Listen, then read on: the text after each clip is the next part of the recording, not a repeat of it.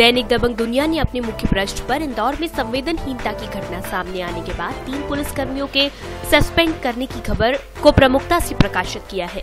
अखबार ने पुलिसकर्मियों की लापरवाही के कारण घायल छात्र के कई दिनों तक एमवाई अस्पताल में भटकने के बाद इंजीनियर छात्र की जान जाने के बारे में लिखा है।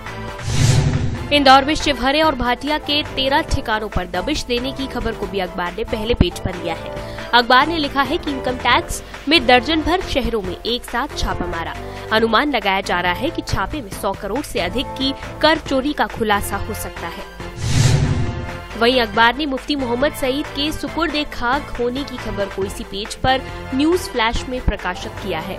अखबार लिखता है कि जम्मू कश्मीर के मुख्यमंत्री मुफ्ती मोहम्मद सईद का गुरुवार सुबह आठ बजे दिल्ली के एम्स में निधन हो गया था, जिसके बाद उन्हें अनंतनाग ज़िले के उनके पुश्तैनी कस्बे बिजबहरा ले जाया गया, जहाँ पूरे राजकीय सम्मान के साथ उन्हें सुपुर्द खाक कर दिया।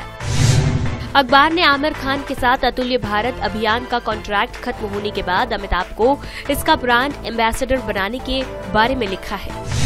वहीं राज्य पेज पर धार के समीप बाग में छेड़छाड़ के बाद दो पक्षों के आपस में भिड़ने के बाद धारा एक सौ चौवालीस लगाने की खबर को अखबार ने छापा है। अखबार ने बाग में सात थानों के पुलिस बल को तैनात करने और 25 लोगों के विरुद्ध नामजद रिपोर्ट दर्ज करने के बारे में भी विस्तार से लिखा है।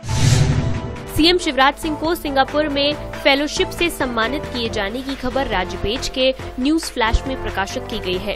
अखबार ने सीएम की चार दिवसीय सिंगापुर यात्रा के बारे में भी विस्तार से लिखा है।